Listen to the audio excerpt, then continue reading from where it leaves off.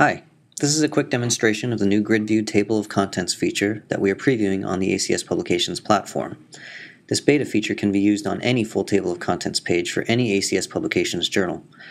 Right now we're on the JACS homepage and we need to go to a full table of contents to use the grid view, so let's go to the Articles ASAP page.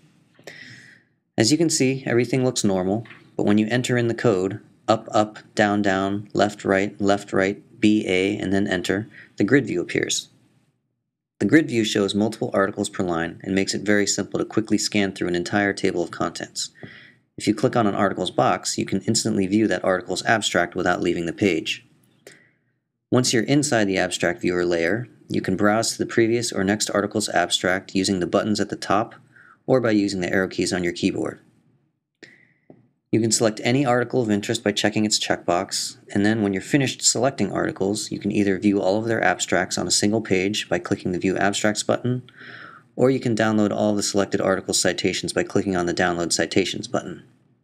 When you're finished browsing through abstracts, you can close the abstract viewer by clicking on the Close button, clicking outside of the abstract viewer, or just by hitting the Escape key. The page will then scroll to the article that you last viewed and highlight it so that you know exactly where you left off. As with all JACS beta projects, we'd love to hear your feedback. Click on the Leave Feedback button at the top of the page and you can answer some of the specific questions we have, as well as leave us any additional comments.